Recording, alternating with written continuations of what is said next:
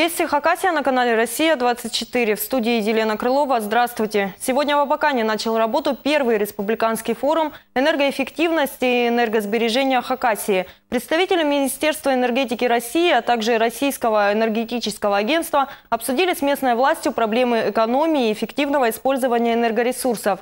В рамках форума была открыта выставка, где свои технологии в сфере энергосбережения представили ведущие российские и зарубежные компании – Тему продолжит Олеся Калиниченко. Сегодня энергосбережение – одно из приоритетных направлений политики государства. Каждый регион, в том числе и Хакасия, в зависимости от природных и экономических условий, разрабатывает собственные программы эффективного использования энергоресурсов. Республиканская рассчитана до 2020 года, пока местные власти занимались изучением проблемы энергосбережения и сбором информации. Сегодня назрела необходимость делиться опытом и приступать от слов к делу. Собственно говоря, именно для этого был организован форум «Энергосбережение и энергоэффективность Хакасии». Эти форумы сейчас стали гораздо более массовыми, чем, скажем, это было 5 лет назад, да, когда это нечто было такое новое, люди приходили, в общем-то, для того, чтобы поудивляться. То сейчас люди приходят за поиском конкретных решений на практические вопросы, которыми они сталкиваются каждый день. Организатор форума Госкомитет по тарифам и энергетике Хакасии Центр энергосбережения. Участники, представители Министерства энергетики России, научные сотрудники Хакасского госуниверситета, главы муниципальных образований. Все, кому не безразличны затраты на электроэнергию электроэнергию, тепло и водоснабжение. Как экономить электроэнергию, тепло и воду, используя современные технологии? Об этом можно было узнать на выставке форума. Свои разработки в области энергоэффективности представили отечественные и зарубежные производители. Не остались в стороне и местные изобретатели. Энергоэффективные проекты представили студенты Хакасского технического института. Данил Половников, изучив погодные условия республики, доказал экономическую выгоду установки ветрогенераторов и солнечных батарей в южных районах Хакасии. Максим Шабусов – автор миниатюрной гидроэлектростанции для жителей поселка Кубайка. Мощность микрогэс 5 э, киловатт в зависимости от течения реки. То есть э, на село Кубайка на 30 один, одно хозяйство предусмотрена 31 установка. При расчетах 3 рубля киловатт-час э, установка купится 7-8 лет. Помимо инновационных разработок, на выставке форума можно было познакомиться с более реальными технологиями, которые уже успешно применяют в сфере энергосбережения. Это тепловые узлы для модернизации отопления, гелиосистемы, светодиодные лампы. По оценкам экспертов, при грамотном использовании технологических новинок можно сэкономить до 40% энергоресурсов. В этом году часть пилотных пилотных проектов будет реализовано и в Хакасии. Это энергоэффективное уличное освещение. Второе направление – это модернизация котельного оборудования, увеличение коэффициента полезного действия работы котлов. Это уменьшение потерь как гидравлических, так и тепловых э, в тепловых сетях. Это глобальная программа модернизации на тепловых сетей, внедрение новых технологий при а, уже реконструкции этих сетей. Первым испытает энергоэффективные технологии Усть-Абаканский район. На этой неделе здесь установят роботаризированную котельную для социальных объектов. Угля она будет расходовать меньше, а тепла давать больше. Олеся Калинченко, Антон Новожилов, Вести, Хакасия. Усть-Абаканский район получит дополнительные деньги на развитие. Об этом руководитель республики Виктор Зимин рассказал на встрече с главой района Виктором Рябчевским. Главе региона удалось достичь договоренности с руководством компании «Русский уголь» об увеличении налоговых отчислений в пользу муниципалитета. Это станет возможным после того, как предприятие зарегистрируется на территории Стебаканского района. Потому что он незаслуженно обделен у нас, район. Разработка угля ведется на территории Стебаканского района. А, основная доля налогов уходит в республику и в город Черногорск. Мы договорились, чтобы не обижая и город Черногорск, какая у него доля была, чтобы сохранилась.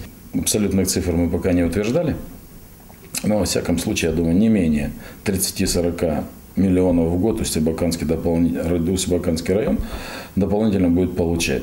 Кроме того, по словам главы региона, руководство русского угля готово принимать активное участие в социальных программах, которые реализует Хакасия, в первую очередь на территории Усть-Абаканского района. У меня на сегодняшний день полная уверенность в том, что наши э, социальные объекты будут финансироваться в текущем году. Вот, задача поставлена по вводу детского садика и э, продолжению строительства физкультурно-оздоровительного комплекса, которое мы начали в прошлом году. Вот, есть реальные возможности для финансирования и для пополнения районного бюджета. Глупая детская шутка стала причиной большого скандала. На интернет-сайте Сайногорск.инфо появилась информация, что в оздоровительном лагере «Горный кристалл» в окрестностях Абазы старшеклассники заставляют подростков употреблять насвай. Так заявили родственники мальчика, которые забрали его из лагеря. Чтобы прояснить все подробности происшествия, наша съемочная группа выехала в Абазу. В лагерь «Горный кристалл» мы попали, когда дети проводили так называемый час веселого грима. Раскрашенные лица, улыбки и смех. Сейчас здесь больше 300 воспитанников, и психологический климат среди детей, по словам воспитателей, неплохой. Очень хорошие, дети друж, э, сдружаются друг с другом, но э, понятно, что есть какие-то небольшие инциденты, шутят друг на друга, могут подшутить, э, ребятишки обозвать кого-то, там измазать пастой. Ну, это детский оздоровительный лагерь, без этого никак. Часть детей, 100 человек, целевая патриотическая смена под названием «Ты нужен России».